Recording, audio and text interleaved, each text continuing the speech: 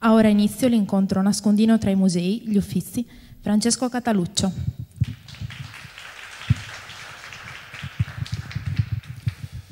Buonasera, eh, data l'ora tarda eh, faremo una cosa breve, del resto era già previsto che questa sorta di gioco nei musei fosse appunto una cosa breve. Breve perché, come sapete, esistono degli studi, non so quanto siano scientifici, che comunque la concentrazione di una persona in un museo mm, non va oltre la mezz'ora.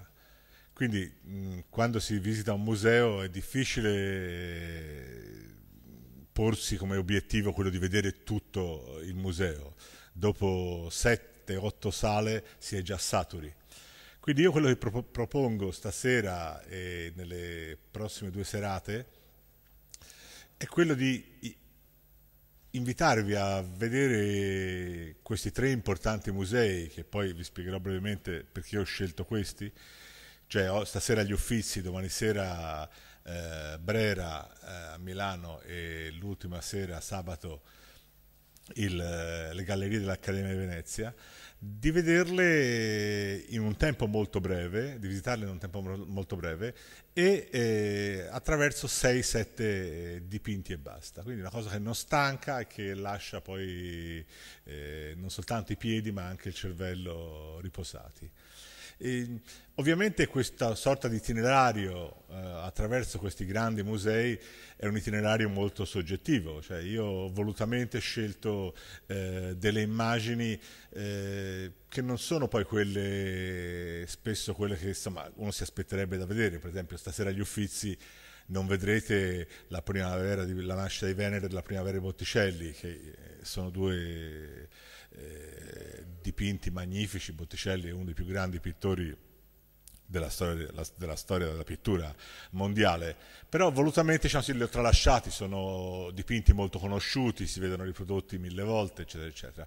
Io ho cercato appunto invece di eh, attraversare gli uffizi andando anche a vedere, alcuni sono ovviamente opere imprescindibili, però andando a vedere anche immagini che spesso non si vedono, si trascurano perché appunto spesso sono collocate in posti diciamo sì, che, non, eh, che non sono tanto accessibili. Dovete tenere conto che gli uffizi hanno esposti 1800 dipinti, quindi ecco, quanto ci può volere per vedere i 1800 dipinti? Probabilmente una settimana, insomma, e anche in una settimana è un bel tour de force. Tenuto conto tra l'altro che appunto gli uffizi perlomeno nella mattinata diciamo sì, fino all'ora di pranzo sono straffollati da, eh, enormi gruppi turistici che eh, seguono persone che gridano delle informazioni ed è difficile veramente godersi, godersi dipinti. Quindi gli uffizi, chi, chi, se ne vuole andare a vedere o rivedere, io consiglio di andarci nell'ora di pranzo, quando non c'è quasi nessuno perché tutti i turisti vanno a mangiare, oppure nel pomeriggio è sicuramente molto più semplice. Però ecco, anche uno, una persona che si desse questo pro programma avrebbe comunque, dovrebbe avere a che fare con un'ipotesi per vedere 1800 quadri di appunto una decina di giorni perlomeno. Insomma. E quindi diciamo sì, noi faremo invece una cosa appunto in una mezz'oretta, 40 minuti. E gli Uffizi, come sentite anche dal mio accento, è chiaramente un museo che mi è particolarmente vicino eh, io ho vissuto, sono nato e sono vissuto 26 anni a Firenze, eh, appartenevo a una famiglia diciamo sì, piuttosto cocciuta nel, nell'idea diciamo sì, di eh, far crescere me e mio fratello nella, nella bellezza, nell'arte, eccetera, eccetera. E quindi insomma, noi la domenica avevamo una sorta di rito laico per cui mio papà e mia mamma ci portavano tutte le domeniche a vedere una stanza, appunto anche loro facevano delle scelte, una stanza soltanto degli uffizi. E si può dire che io dall'età di sei anni sono cresciuto con gli uffizi, nel senso che tutte le domeniche andavo a vedere una, una sala. E, e, poi ovviamente alcune di queste sale le ho riviste poi anche a distanza di qualche anno e quindi diciamo sì, mi hanno accompagnato eh, nell'adolescenza, insomma, poi ho cominciato ad andarci per i fatti miei, ma insomma diciamo sì, fino a a 14 anni diciamo sì, io ho percorso queste sale insieme ai miei genitori che mi spiegavano e queste loro spiegazioni mi sono rimaste attaccate addosso, cioè sono, sono delle spiegazioni che mi hanno condizionato. Nel, io poi ho anche studiato a un certo punto storia dell'arte, però insomma queste prime impressioni mi sono rimaste attaccate in modo molto forte e ho dovuto anche, diciamo sì, alcune volte fare un grosso sforzo per, per cambiare idea. Dicevo che gli Uffizi sono un museo che particolarmente per me si intreccia quindi con la mia biografia. Ho prima accennato al, alla nascita di Venere.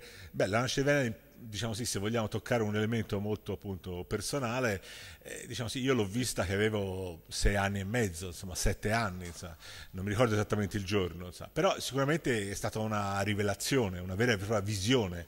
Dovete pensare che eh, io mi avvio ormai ai 60 anni, quando ho visto la prima volta la nascita di Venere eravamo diciamo sì nei primi anni 60 e mm, non, non, avevamo la televisione in casa, insomma, cioè io non avevo mai visto una donna senza vestiti insomma, in vita mia. Insomma, ecco. La nascita, Venere è stata la prima donna, diciamo sì, eh, senza vestiti che io ho visto. E quello che ricordo ecco che ci sono rimasto veramente un sacco di tempo insomma, davanti, appunto, come si vede, una cosa che non si è mai, mai nemmeno immaginata.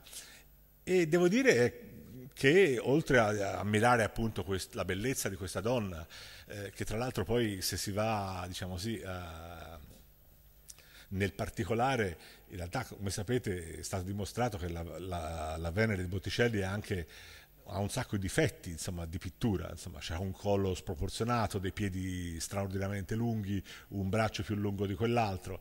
A Botticelli non, non, non gliene importava niente insomma, di questi particolari, insomma. lui puntava a un'idea altissima insomma, e effettivamente quello che comunica la primavera è la bellezza, certo.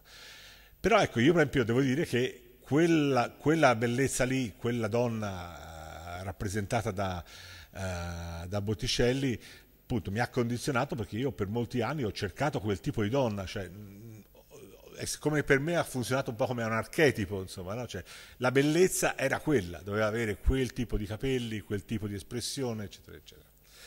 E, e quindi diciamo sì, quando poi eh, ho cominciato a scrivere questo libro, appunto, che poi è pubblicato l'anno scorso da Sellerio, appunto, La memoria degli Uffizi, eh, il mio rapporto con gli uffizi è stato un rapporto, diciamo sì, anche un po' di andare alla ricerca del tempo perduto, cioè ricordarmi di, di tutto quello che io avevo visto.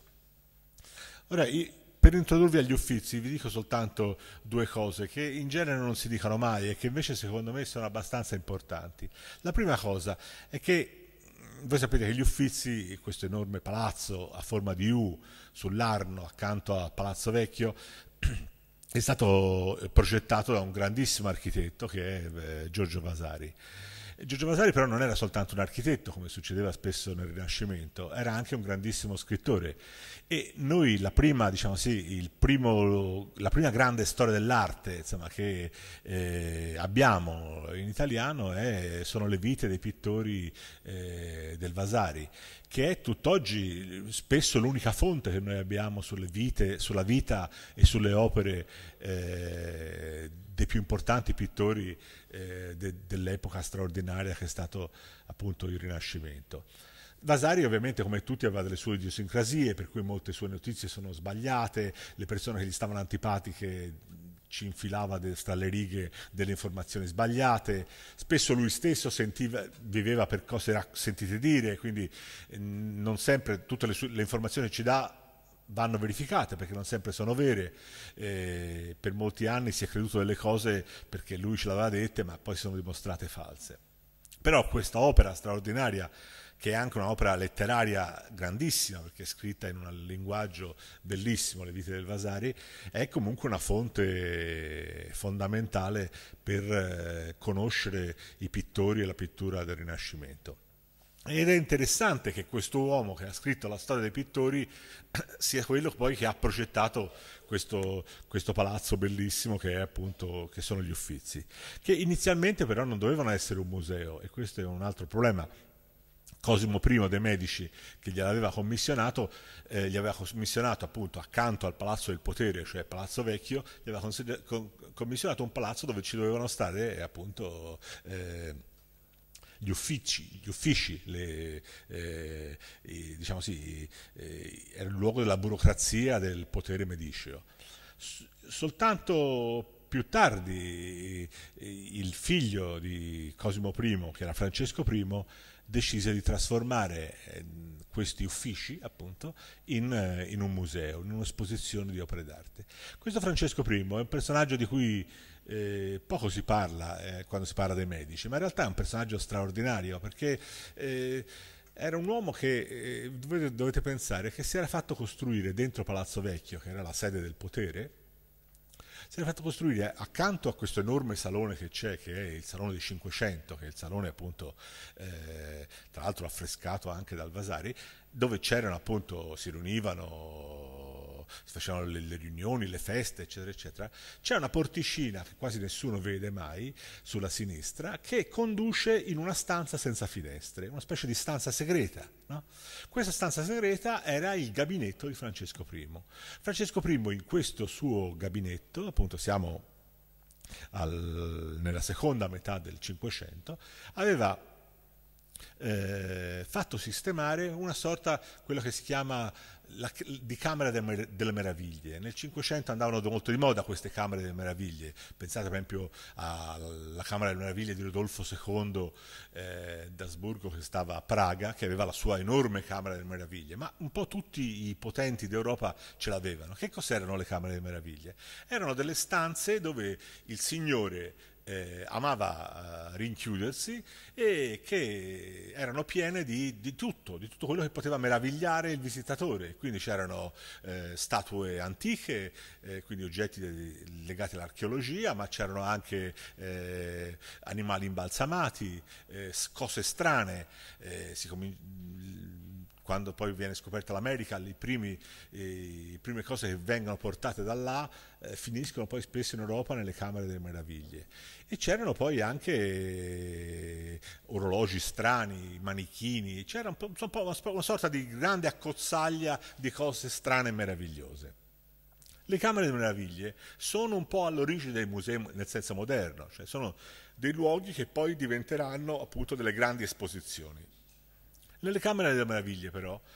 Eh, spesso questi signori, e Francesco I non era diciamo così, esente da, questa, da questo, così, passione, facevano anche delle pratiche, cioè si limitavano ad avere delle cose belle, di circondarsi di cose belle e curiose da far vedere agli amici, no, ma praticavano dentro queste stanze delle, delle alchimie, erano dei, un, po ma, un, po maghi questi, questi, signori, erano un po' degli alchimisti, insomma, e quindi eh, raccoglievano intorno a sé eh, spesso anche dei ciarlatani da tutta Europa che gli davano una mano appunto a provare a costruire appunto eh, una delle cose che si facevano più spesso era prendere degli animali appunto imbalsamati, tagliarli e provare a fare degli innesti particolari e creare degli animali che non c'erano, insomma, no? tipo appunto so, un serpente con le le ali, eccetera, eccetera.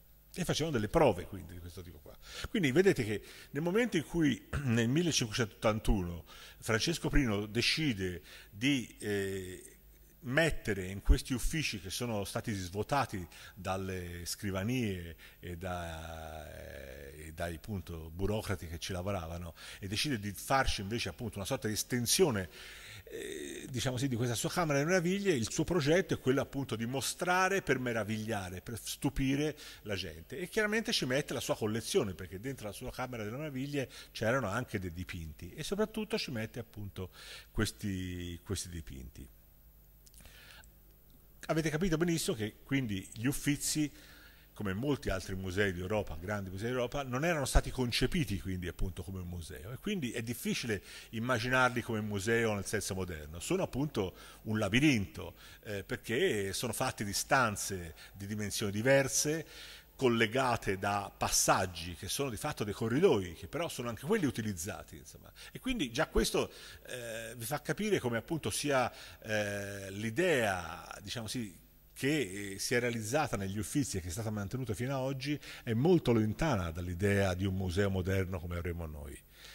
La seconda cosa importante da sapere è che gli Uffizi, ma come molti altri musei eh, importanti d'Europa, non hanno nessun criterio cronologico, né diciamo così, nessun criterio di omogeneità, cioè voi potete trovare in una stanza un perugino e poi trovare un altro perugino cinque sale dopo eh, nessuno si è mai preoccupato di metterli tutti insieme. Lo stesso Botticelli, che è un po' diciamo sì, l'artista principale degli Uffizi, ha sì una grande sala tutta dedicata a lui, dove ci sono 23 eh, tra le sue opere più importanti, ma poi trovate Botticelli anche in qualche altra sala e nessuno ha mai pensato di portarle tutte in una sala, perché è così, cioè, il museo si è allargato eh, ed è andata così, cioè, eh, si, è, eh, si, è, pensato che non avesse senso spostare le cose, no? quindi si è, si è, creato dove c'era sposto, sono stati messi degli altri dipinti e uno quindi se per dire amasse solo appunto Perugino, per dire, deve andare a zig zag tra una sala e l'altra e non c'è nessuna indicazione che ti dice però guarda devi andare dalla sala 3 alla sala 7 eccetera, eccetera. ci vogliono delle guide guide chiaramente, però insomma, eh, eh, non è così semplice e così immediato. L'altra questione che rende gli Uffizi un museo molto molto particolare è il fatto che gli Uffizi a un certo punto quando finiscono, cioè finisce questi due questi tre corridoi, questa U che, che li caratterizza, poi però a metà della, del secondo lato lungo di questa U c'è una porticina che purtroppo è sempre chiusa, però eh, se uno appunto fa domanda eccetera, eccetera, gli viene aperta e questa porticina lo immette in uno strano corridoio, che è il corridoio vasariano, prende nome da Vasari, che passa sopra i tetti delle case, cioè esce dagli uffizi, passa sopra i tetti delle case ed è un corridoio che praticamente inizialmente univa Palazzo Vecchio attraverso gli uffizi attraverso Ponte Vecchio, quindi si passava di là dall'Arno, poi attraverso una chiesa Santa Felicita, poi si passa anche lì di nuovo sopra i tetti e si arriva dall'altra parte nell'altro palazzo del potere dei medici che era appunto eh, Palazzo Pitti. Quindi c'è un sistema, diciamo sì, di collegamento tra Palazzo Vecchio, gli Uffizi, questo corridoio vasariano che passa sopra Ponte Vecchio per arrivare poi a Palazzo Pitti. A Palazzo Pitti c'è un altro museo che si chiama Galleria Palatina, che non è, è ancora più, diciamo sì, disordinato degli Uffizi, perché nella Galleria Palatina è stata mantenuta questa struttura delle vecchie quadrerie, cioè quadrerie che cos'erano? Delle esposizioni di quadri che nel Seicento mettevano insieme tanti dipinti su tante, su tante linee, quindi cioè, su 5-6 livelli voi vedete nelle, nelle, sale della Galleria Palatina eh, quadri importantissimi, però appunto mh, Palazzo Pitti in realtà non lo visita quasi nessuno, rispetto ai visitatori degli Uffizi a Palazzo Pitti non ci va Quasi, quasi, nessuno, cioè, nessuno gli viene in mente che in realtà Palazzo Pitti fa parte degli uffizi, perché solo per farvi per darvi un'idea, eh, così tanto per... Eh, cioè, uff- il Palazzo Pitti è quasi più importante sotto certi aspetti degli uffizi per le collezioni che espone, perché eh, appunto per darvi un'idea ci sono di Andrea del Sarto 18 opere, che non ci sono agli uffizi 18 opere di Andrea del Sarto, ci sono 13 opere di Tiziano, cioè che non, non sono poche eh, ci sono eh, di Raffaello dieci opere, insomma, eh, che non è poco, e, e così via, cioè, ci sono fra Bartolomeo, cioè, eh, c'è il ritratto di Giulio II di Tiziano che è importantissimo, cioè, ci sono quadri molto importanti, Rosso Fiorentino, eccetera, eccetera. Quindi uno in realtà se volesse eh, seguire eh, diciamo sì, veramente in modo completo il sistema degli uffici dovrebbe cominciare dagli uffizi, farsi aprire il, il, corridoio vasariano dove ci sono una collezione di ritratti, perché gli uffizi nascono inizialmente come collezione di ritratti, eh, e poi arrivare di là d'Arno e sbucare la galleria palatina dentro Palazzo Pitti e vedersi ancora qualcosa come 600-700 dipinti. Quindi ci si perde in questo, questa ricchezza di esposizione un po' confusa. Allora, io il percorso che vi propongo stasera è un percorso, appunto, dicevo, molto personale, che comincia con un quadro che vedete alle mie spalle, un dipinto, che quasi nessuno vede, perché appunto uno entra nella prima sala de, degli uffizi e si trova di fronte a Cimabue, eh, eh, Giotto, eh, Duccio da Boninsegna, insomma, è una sala straordinaria dove già solo quella varrebbe la visita, cioè potrebbe uscire dopo aver visto la prima sala e poi dopo questa sala si mette in un'altra saletta più piccola e poi dopo questa saletta più piccola c'è un corridoio, un vero corridoio stretto che porta poi a un'altra sala più, più importante. E quindi la gente non si, si ferma, vede che c'è in questo corridoio de, dei dipinti alle pareti, però mh, li considera minori, dice se fossero stati dipinti importanti starebbero nelle sale più importanti, non in una sala di passaggio. Eh, e invece, invece, secondo me, in questo corridoio c'è uno dei più bei dipinti del, 300 ed è questa pietà eh, di un signore che eh, anche nel nome poveraccio partiva male perché si chiama Giottino, cioè, quindi uno pensa, sa, Giotto, cioè, c'era Giottino sarà un minore. Addirittura si pensava, eh, fino a un certo punto, si è pensato addirittura che Giottino fosse figlio di Giotto. In realtà questo Giotto di Stefano, perché così si chiamava in realtà, non era figlio di Giotto, ma era stata a bottega di Giotto, cioè, quindi questo nome è anche giustificato dal fatto che lui era un allievo di Giotto. Un allievo di che però, per esempio, Vasari ci dice molto chiaramente, insomma, nelle sue storie, che era molto meglio di Giotto, era molto più bravo di Giotto. Però Vasari in fondo era, se vogliamo, parte in causa, era abbastanza ancora vicino, diciamo così, temporalmente. Così. Però se prendete uno dei più grandi studiosi dell'arte del 300 e del 400 fiorentino, che è questo ebreo lituano americano che era Bernard Berenson, che eh, si stabilì a Firenze all'inizio del Novecento ed ha giocato un ruolo straordinario perché lui praticamente era quello che eh, acquistava i dipinti per i grandi miliardari americani, per le grandi collezioni americane. E in pratica lui aveva un potere enorme perché era quello che diceva questo è Giotto, questo è eh, Fra Bartolomeo, questo è... Cioè, aveva, eh, era talmente importante, talmente conosciuto, talmente stimato che aveva il potere di diciamo sì, sancire la fortuna di un dipinto eh, oppure invece il fatto che questo dipinto appartenesse appunto a una scuola minore e quindi avesse meno valore. E Berenson stesso eh, ha, molto, ha, scritto e ha detto più volte in modo molto esplicito che secondo lui Giottino è molto più importante di Giotto, è molto più, eh, più bravo di Giotto. E perché era più bravo di Giotto? Eh, chiaramente qui poi si va sul pers- sulle impressioni personali, però il problema è che questo signore, come vedete anche da questo dipinto, eh, aveva una caratteristica, un modo di dipingere che eh, Vasari di, di, definisce il dipingere denso, intensamente sfumato, che è per la prima volta compare nella, nella, pittura italiana. E tra l'altro voi dovete, tenere conto che i quadri, i dipinti, scusate, del 1200 e 1300 erano quasi tutti dipinti religiosi ovviamente, cioè a tema religioso e pensati non per stare in un museo o per stare in un palazzo di un principe, ma erano pensati appunto per stare nelle chiese. E avevano un'altra caratteristica, oltre al fatto di essere appunto a tema religioso, il fatto di essere quasi tutti con questo sfondo d'oro, cioè, eh, perché l'oro dava questa importanza, questa luminosità, cioè, l'altro era oro vero, cioè non era un, una pennellata d'oro, erano laminelle d'oro compresse nel, nel, sulla, sulla tavola che poi appunto davano questo sfondo.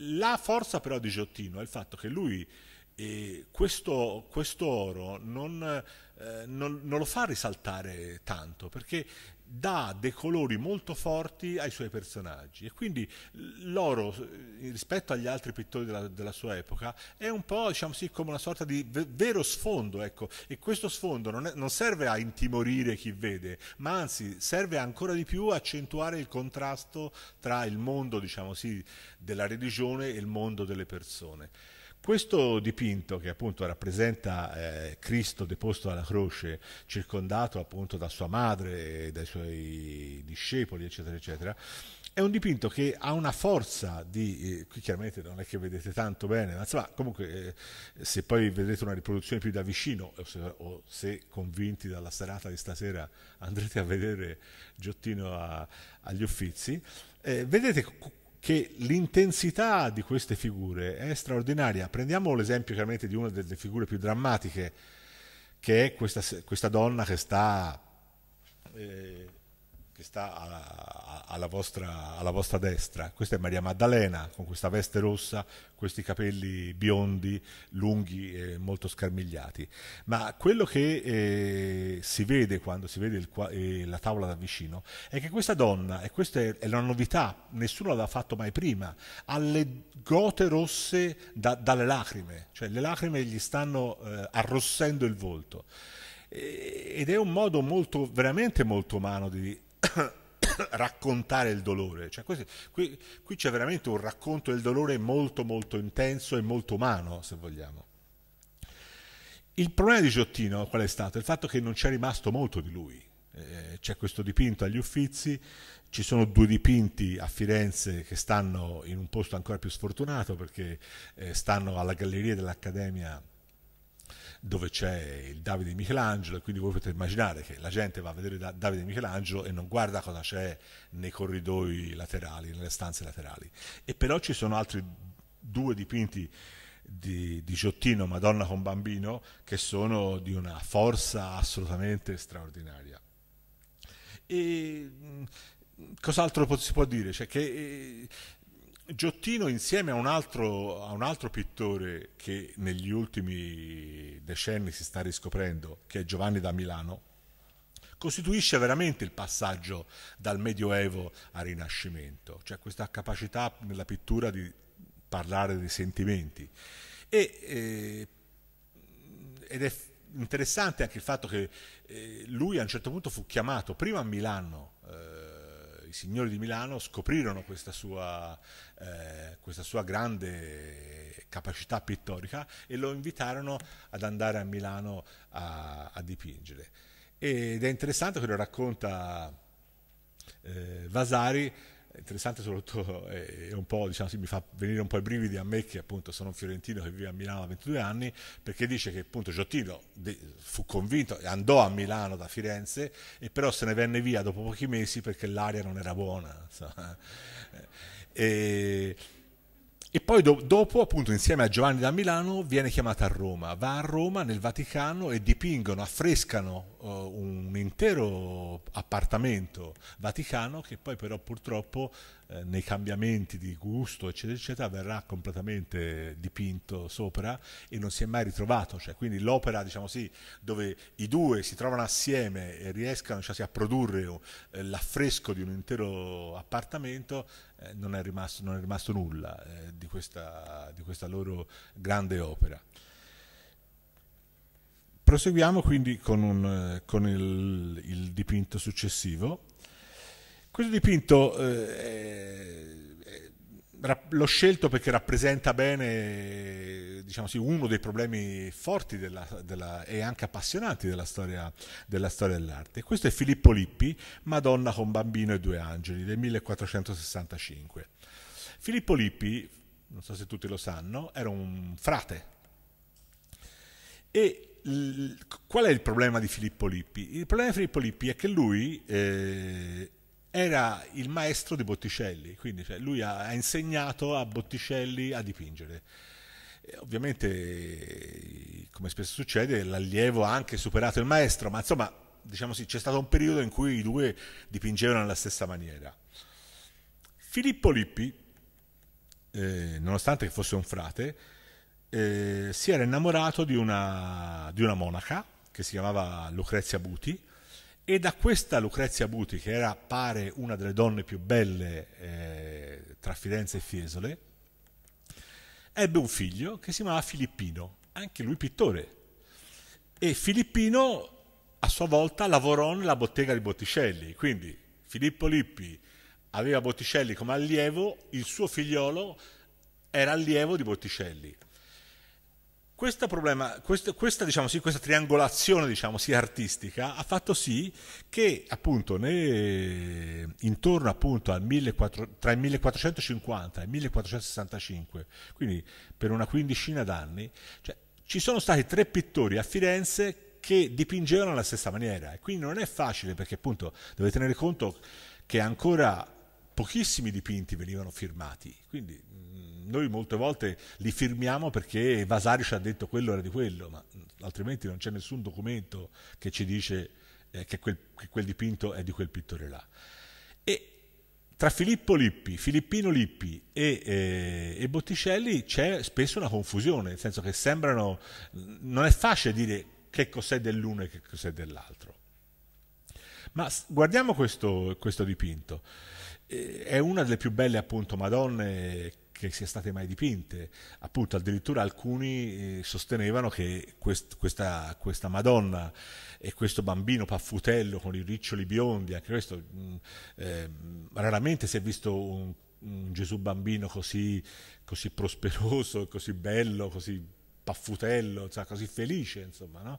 e, e, siano in realtà appunto la Lucrezia Buti e, e il figlio filippino, cioè che lui abbia rappresentato in realtà in questa, in questa, in questa immagine di famiglia, eh, in realtà la propria, la propria famiglia. Insomma. Ma io la cosa che eh, vi inviterei a notare è il fatto che, eh, vedete, alle spalle della Madonna c'è una specie di cornice, eh, in realtà è una finestra, no? ma e questa è la grandezza di questo pittore. Questa sorta di finestra, di cornice, divide il quadro come su due piani. Il piano più vicino a noi, che guardiamo, dove c'è appunto la Madonna, il bambino, eh, l'angioletto eh, sotto e forse San Giovanni dietro.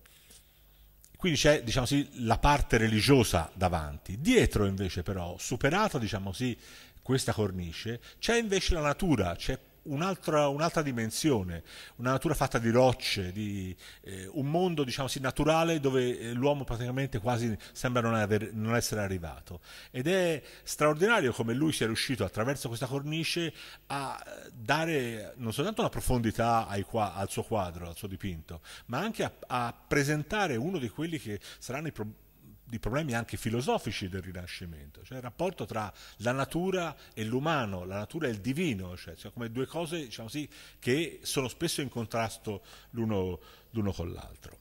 Il terzo dipinto invece è un dipinto eh, invece molto, molto noto, insomma, quasi imprescindibile, insomma, da solo forse varrebbe la visita agli Uffizi, quindi questo non sarà una sorpresa per voi, ed è l'Annunciazione di Leonardo da Vinci. Questa annunciazione eh, necessita di, una, di, un'informazione che non è un'informazione da poco, perché eh, Leonardo da Vinci dipinse questo, questo, questo, di, questo, quadro piuttosto anche grande come dimensioni, che aveva nemmeno 20 anni, 19 anni e mezzo probabilmente. Quindi voi immaginate un, un ragazzo, insomma, cioè, non ancora maturo, che dipinge questa roba qua. Cioè, insomma, eh, e, e, torniamo al discorso che facevamo prima sulla natura. Allora, c'è un, a Firenze un professore di, di, botanica che evidentemente non avendo altro da fare si è preso la briga di eh, studiare tutti i fiori e le piante che vedete in questa sorta di tappeto erboso. No? L'angelo plana su questa sorta di tappeto erboso, si ferma no? E annuncia alla Madonna. E tra lui e lei c'è questo, appunto, questo prato fatto di decine e decine di, di piante e fiori. 86 lui ne ha contate, alcune di queste non esistono nemmeno più, cioè sono state fermate da Leonardo da Vinci prima dell'estinzione. Però uno si chiede, gli hanno commissionato, perché eh, ovviamente eh, per questo tipo di opere c'era una commissione, nessuno si metteva a dipingere la, l'annunciazione, gli veniva commissionato da qualche appunto ente religioso. Allora ti commissionano l'annunciazione e te la dipingi in modo straordinario ovviamente, fai una Madonna bellissima, un angelo ancora più bello, con dei gesti delle mani, guardate i gesti delle mani dell'angelo, no? cioè, l'annunciazione è, eh, è, il verbo che si fa carne, insomma, no? guardate come, come, come, muove le mani l'angelo no? e guardate come muove le mani lei, cioè, che sembra quasi che gli dica eh, un attimo, no? cioè, quasi che con una mano sembra quasi fermare la scena, insomma, no? e con l'altra appunto tiene il segno del libro che sta leggendo, quindi c'è un, un'interruzione. No? Cioè, il dipinto diciamo sì, eh, ferma questa sorta di interruzione. Però ecco, questo è il dipinto. Perché uno ci deve mettere 86 fiori e, e piante. Questo è un problema non da poco, cioè questi alberi poi sullo sfondo, cioè, anche lì ci sono nove tipi di albero. Evidentemente, secondo me, Leonardo anche qui sentiva questo problema insomma, del, della natura. Insomma, no? cioè, eh, una cosa è il discorso divino, No? Cioè, però un altro discorso, un'altra cosa è il discorso naturale, sono come due piani che procedono in parallelo, che si incontrano spesso, ma non necessariamente, sono due mondi. E lui sente che la sua annunciazione sarebbe stata molto più forte e molto più, eh, più ricca, ma non soltanto dal punto di vista estetico, ma anche dal punto di vista filosofico, se ci fossero stati tutti quei fiori e tutte quelle piante dipinti con questa, con questa maestria. Un'ultima cosa però da notare in questo dipinto, che spesso non si vede, è che se voi guardate alla vostra destra, alle spalle della Madonna c'è una porta, una porta aperta. Questa porta fa intravedere eh, a malapena, c'è un'ombra no? di luce, che, cioè un po' di luce che entra, c'è un'ombra e c'è una sorta di trappo rosso, una, potrebbe essere una coperta appoggiata. Questo, questo pezzetto qui è ancora, uno, secondo me, una, una, cosa ancora in più no? rispetto a, al tema del, eh, del, dipinto, ma qualcosa in più che ha un grande significato. Io fin da piccino, quando lo vedevo, devo dire che mi dava molta angoscia quella porta, quella sorta socchiusa con questo buio, con questo, questo pezzo di coperta rossa, perché mi sembrava che lì ci fosse già, rappresentato, questo non quando avevo sei anni ovviamente, ma più avanti, però mi sembrava che fosse già lì rappresentato eh, la conclusione di questa storia. Qui, si, qui comincia una storia, no? Comincia una storia e qual è la fine di questa storia? Certo, sì, c'è la resurrezione, ma prima della resurrezione c'è la morte. Da questi gesti a un certo punto produrranno la morte, come ogni vita poi eh, finisce in una morte. E quella porta aperta così, secondo me, rappresenta proprio questo. Insomma, no? in questa scena così alta, così perfetta, eccetera, eccetera, c'è come una sorta di apertura. E questo è anche dal punto di vista della pittura una cosa straordinaria, cioè è come un, un taglio di fontana, cioè, no? come se il quadro si aprisse no? e, e, noi che lo guardiamo venissimo catturati e portati oltre, no? portati da un'altra parte, in un'altra dimensione, la dimensione oltre la vita. Andiamo velocemente avanti. Questo è, anche questo è un quadro molto famoso, però è anche uno dei quadri più studiati e uno dei quadri meno, più diciamo, misteriosi che, eh, siano, che sono presenti agli Uffizi. Eh, è un quadro di Giovanni Bellini, pittore veneziano, Allegoria Sacra del 1490. e anche qui, secondo me, questo tema del rapporto fra, eh, fra mondo e natura è esplicitato molto efficacemente. Che cosa succede in questo quadro? Anzitutto beh, c'è appunto una parte più vicina a noi che è questa sorta di terrazza, no? con questo pavimento bellissimo, e in questa terrazza, come su una scena teatrale, stanno avvenendo alcune cose. Alcune cose, tra l'altro, che è difficile metterle insieme l'una con l'altra, perché, guardiamo, ci sono due signori con una specie di perizoma, uno vecchio e un altro giovane quello giovane, eh, lo si capisce, è San Sebastiano, quello, quello vecchio è Giobbe. Poi c'è nel mezzo un albero, un melograno. Il melograno simboleggia la vita.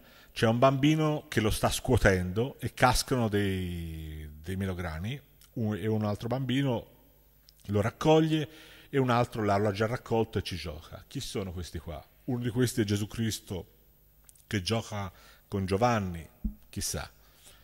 E poi si va più in là, c'è un uomo appoggiato alla balaustra, potrebbe essere San Giuseppe, c'è San Paolo con la spada. Cosa sta facendo San Paolo con la spada, questo uomo vestito di rosso? Sta cacciando un infedele, guardate all'estremità del quadro, c'è un uomo che sta fuggendo con un turbante. C'è la Madonna in trono, ci sono altre due donne vicino a lei.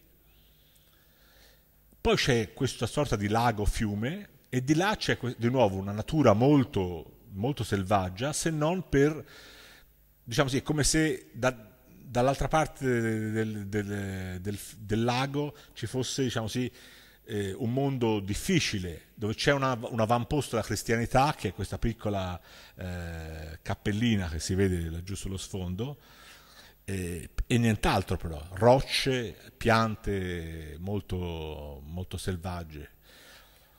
Però la cosa, al di là di, dell'interpretazione che appunto è difficile di questa storia, questa allegoria appunto, la cosa interessante è la perfezione che Giovanni Bellini eh, qui mostra.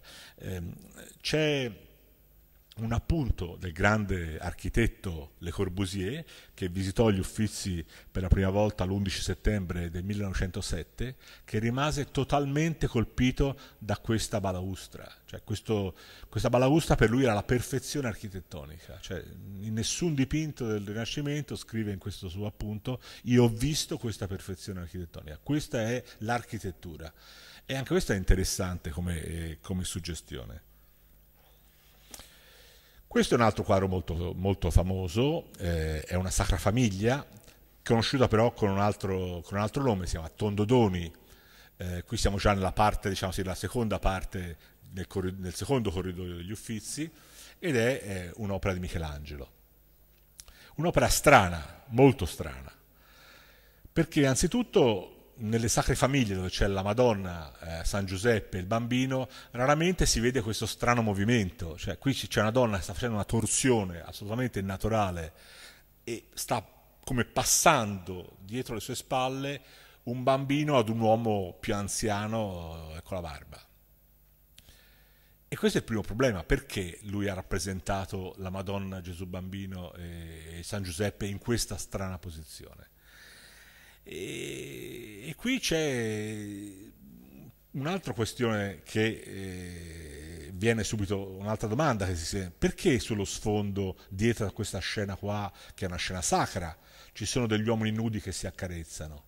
E perché poi, siccome il, il dipinto in realtà si intitola Sacra Famiglia con San Giovanni, dov'è San Giovanni? Allora, San Giovanni, se lo vedete, se lo guardate un po' bene, è alla vostra destra quella specie di satiro che vedete spuntare dietro un muro nero, queste pietre nere, no?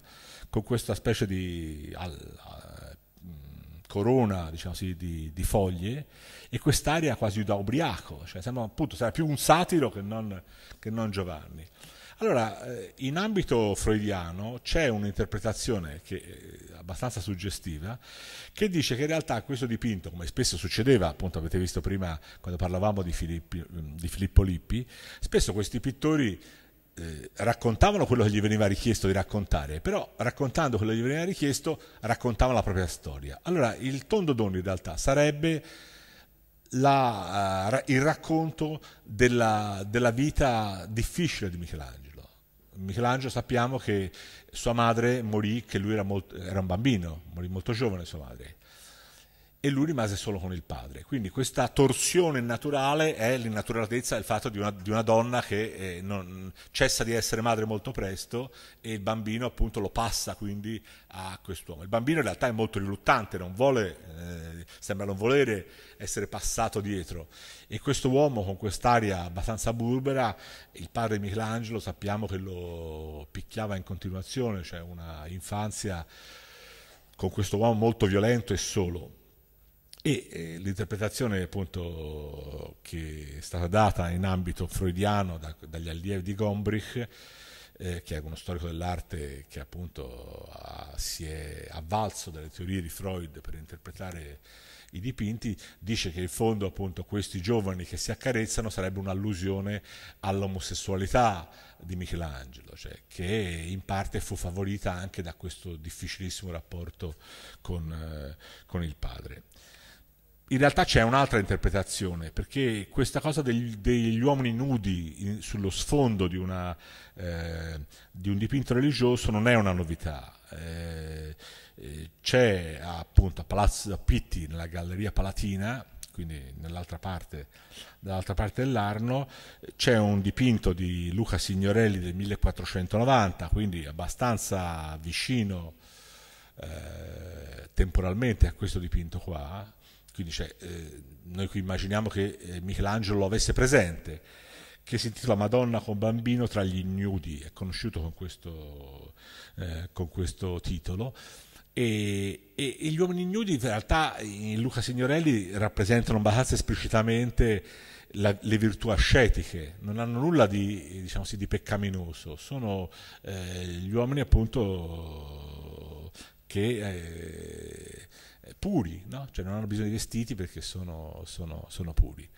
Eh, insomma, comunque è un, è un dipinto questo diciamo, sì, su cui diciamo, sì, si viene diciamo, sì, chiamati a, a, riflettere e a ragionare.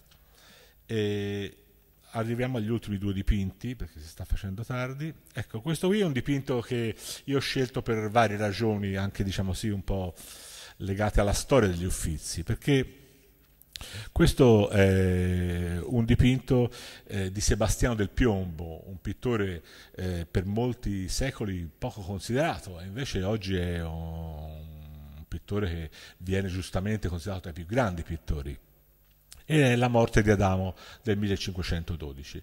Questo dipinto noi abbiamo rischiato di perderlo, perché eh, quando nella notte tra il 26 e il 27 maggio del 93 ci fu l'attentato, la bomba in via dei Gergofili, che costò la vita a cinque persone che stavano in una casa attaccata agli Uffizi, il, l'onda d'urto distrusse diversi dipinti, dieci dipinti sono, di, sono irrecuperabili.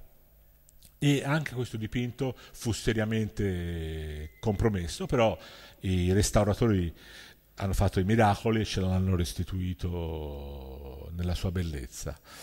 Eh, però mi sembra quasi un, un dipinto diciamo sì, che ha a che fare un po' con questa tragica, drammatica storia di questa bomba che appunto ammazzò queste persone sotto gli Uffizi. Qui cosa, cosa, succede? C'è la Venere che sta piangendo, eh, consolata da, da, Cupido, sta piangendo Adone, che lo vedete sdraiato lì per terra con questa veste, questo piccola veste blu, che è stato ucciso da un cinghiale. Ma, e, e, e, le compagne di Venere anche appunto la, le tengono compagnia in questo dolore. Eh, però la cosa interessante è che vedete sullo sfondo, eh, oltre l'acqua, c'è dell'acqua e poi c'è un grande palazzo. Quel palazzo, se guardate meglio, è il palazzo dei Dogi a Venezia. E quello quindi si può immaginare che qui siamo nell'isola di San Giorgio, quello è il bacino di San Marco, questo, questo tratto di, di, laguna che divide appunto la parte principale di Venezia dall'isola di fronte. C'è un perché Venere? Perché l'etimologia di, eh, di Venezia era Venusia, Venus, cioè il Ven- la, il Venezia è la città di Venere. Insomma. E questo quadro che ha questi colori anche molto plumbei, se vogliamo, non soltanto perché l'autore si chiama del piombo, insomma, eh, però è un quadro appunto che rappresenta è come se prefigurasse già la fine della città, insomma, no? di questa città eh, così precaria no? che sta appunto sospesa sull'acqua. E, ed è, fo- è, forte come, come immagine. E, insomma, io credo che sia un dipinto che abbiamo avuto la fortuna che si è salvato. L'ultimo dipinto con il quale vorrei concludere è di un altro pittore, anche questo molto, eh, molto rivalutato nel, soprattutto nel nostro secolo. Eh, Pontormo, Jacopo da Carrucci, detto Pontormo, eh, era un Pontormo, sapete che eh, eh, Ponte a Erme un, è, un, è tutt'oggi un quartiere periferico di Empoli, no? lui era originario di lì. Eh, ed era un, pittore diciamo sì, che è stato in parte condizionato pesantemente dal suo carattere, solitario, tormentato, dice eh, Vasari, che pure lo apprezzava, diceva che era incontentabile e soprattutto c'era questo problema che lui si sentì tutta la vita schiacciato da Michelangelo, cioè, insomma, rispetto alla grandezza di Michelangelo lui si sentiva assolutamente inadeguato e quindi questo lo tormentava continuamente, lo faceva essere appunto irascibile, malinconico, eccetera, eccetera. Eh, questo dipinto è bellissimo per i suoi colori, eh, Pontormo uno dei primi a rivalutare Pontormo in Italia è stato questo grande critico, studioso di storia dell'arte, che era Longhi, che insegnava all'Università di Bologna. E tra gli allievi di Longhi c'era Pierpaolo Pasolini, e Pierpaolo Pasolini ha sempre detto che le lezioni di Longhi per lui furono fondamentali. E se guardate un po' di quadri di Pontormo vedete che poi Pasolini, quando soprattutto eh, si è misurato con il cinema, eh, ha ripreso pari pari alcuni quadri, insomma, cioè il, anche qui queste vesti nella, eh, nel Vangelo di Matteo ci sono proprio questi verdi e questi rossi, cioè ci sono proprio citazioni esplicite nel cinema di Pasolini da Pontormo. Questa è la scena di Emmaus. Emmaus è uno eh, degli episodi, diciamo così, dei Vangeli più, più, affascinanti, più belli anche per chi non è credente.